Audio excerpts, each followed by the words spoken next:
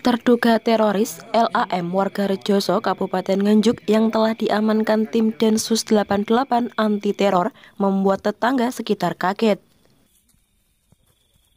Ia merupakan anak pertama dari tiga bersaudara yang sebenarnya warga Gondang, Kabupaten Nganjuk.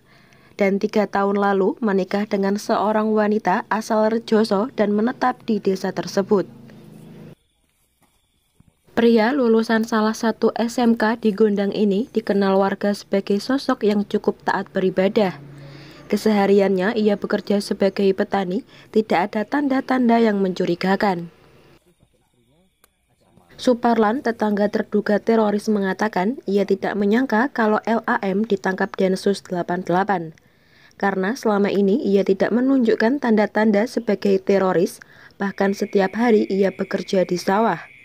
Saat diamankan, ia juga baru pulang dari sawah. Mas, Mas kenal selama ini si Afif ini bagaimana? Ya orangnya kalau setiap harinya di sawah. Hmm. Kalau tadi, tadi ya pulang dari sawah. Kalau tadi penangkapannya bagaimana nih mas? Ceritanya? Penangkapannya. Pas pulang dari mana sih? Pas pulang dari sawah. Langsung ditangkap gitu? Iya, dia kan ngerjakan orang mana orang yang di sawah. Uh, Sekira jam berapa? Uh, Mas kira-kira ya siang lah tadi siang. kalau malam nggak pernah keluar? Nggak pernah. Kalau posisi rumahnya ini apa jauh dengan perkampungan Mas? Kanan kirinya apa ada tetangga? Ada di sini. Ada. Mana ini di tengah sawah nih Mas ya? itu saudara semua depan situ. Hmm, gitu. kalau istrinya orang mana Mas? Orang sini aja. Istrinya cuma lakinya dari Gundang situ. Hmm.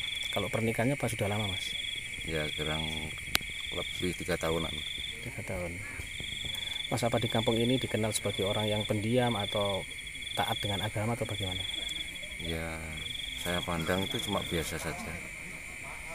Kalau aktivitas di keagamaan mas di masjid atau di musola gitu? Ya kadang di masjid kadang di rumah. Hmm. agama taat agama juga mas? Iya. Hmm.